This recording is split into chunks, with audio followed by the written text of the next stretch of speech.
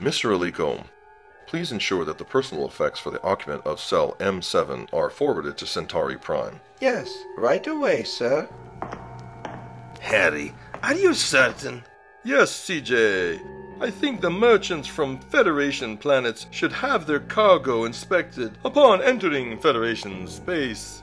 Oh, I thought you had previously said that merchants from non Federation worlds shouldn't have to submit their cargo for inspection. You are correct there, Cyrano. They shouldn't have to. So, Federation based merchants should undergo inspection, but not those from non Federation worlds? Indubitably, sir. Hmm, I guess so. Doesn't seem fair, though.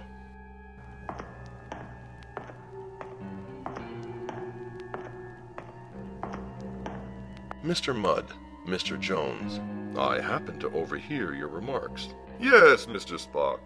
The argument you are employing, Mr. Mudd, is not logical. In fact, it exhibits the fallacious reasoning practice of the double standard. I thought he was persuasive. That may seem so, Mr. Jones, but his argument is invalid.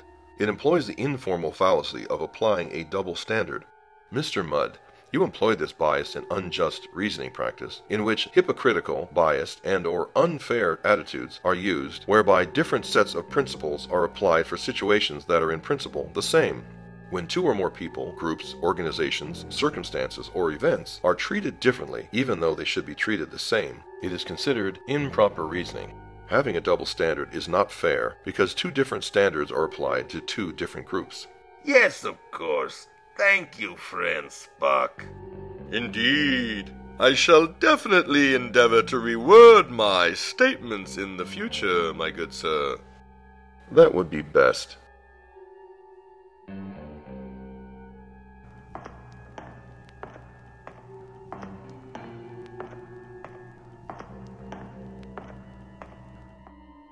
Even if an argument seems to make sense, it cannot be valid unless the form is valid, and that it does not exhibit improper reasoning practices, such as applying an unfair double standard.